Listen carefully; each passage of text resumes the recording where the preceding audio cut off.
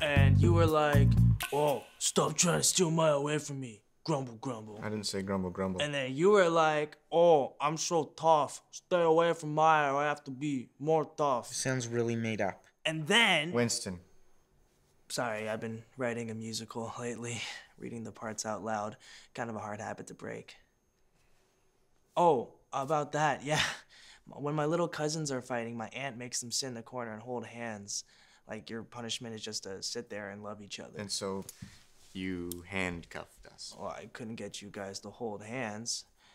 But then you started drinking, and I went to the kitchen to get snacks, and when I came back, you guys were gone. This is a great story, really, but um, how about you give us the freaking keys? Not until you hug it out.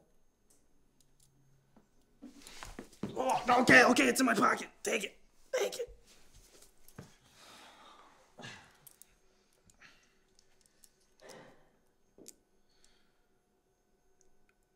Are you okay? About Maya, I mean. Yeah, I'll get over it. How about you? I told you. I'm not into her. If you say so. If you guys don't mind me asking, what the hell happened to you last night? Nothing. Nothing.